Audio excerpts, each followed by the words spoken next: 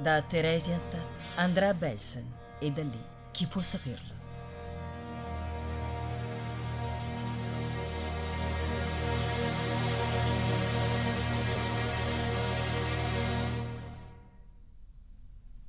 Caro Dio, scrive Lilly nel suo diario, proteggi la ragazza che amo più di ogni cosa.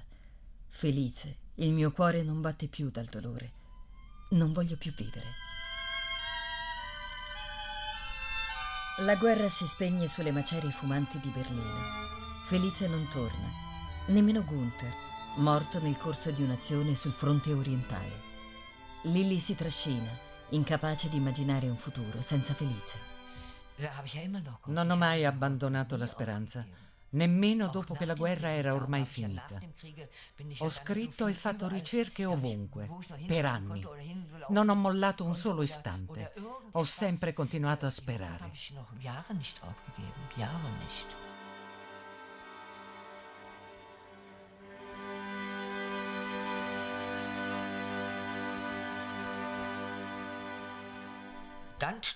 Poi un giorno, doveva essere più o meno il 1946, lessi sui giornali che a Mecklenburg, dove li avevano portate in marcia dal campo di concentramento di Belsen, avevano trovato nei pressi di un fienile i corpi di 700 donne. Crollai di nuovo, perché Felice poteva essere una di loro.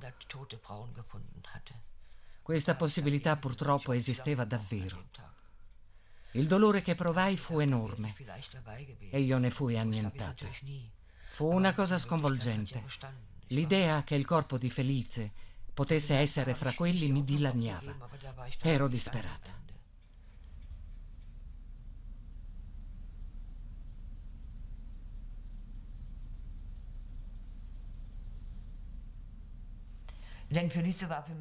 Felice era la ragione della mia esistenza. Da allora ho continuato a vivere con i suoi ricordi intorno a me. Non li ho mai abbandonati. I suoi libri, le sue fotografie. L'ho sempre sentita dentro di me. Potete pensare che io sia matta, ma quando camminavo da sola per la strada andando al lavoro, senza nessuno con cui parlare, ho sempre sentito la sua presenza. Non so come spiegarlo, ma ancora oggi io la sento.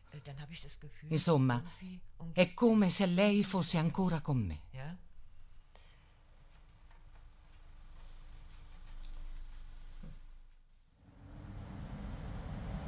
Gli anni passano.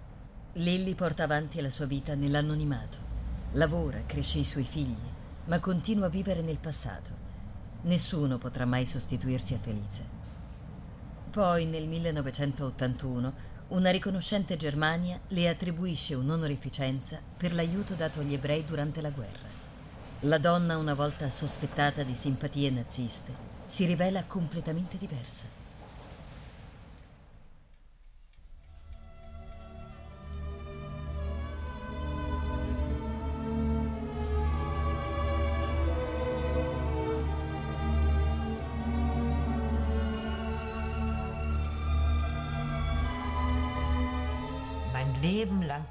Sono grata di aver potuto assaporare un momento così. L'abbiamo vissuto con intensità totale. Felice amava la vita con tutta se stessa. Avrebbe dovuto vivere un poco più a lungo e questo sarebbe stato sicuramente un dono meraviglioso. Avremmo potuto costruire una famiglia, la nostra famiglia. Insieme avremmo potuto crescere i bambini, perché è così che si fa. E io avevo i miei bambini. Ich hatte ja Kinder.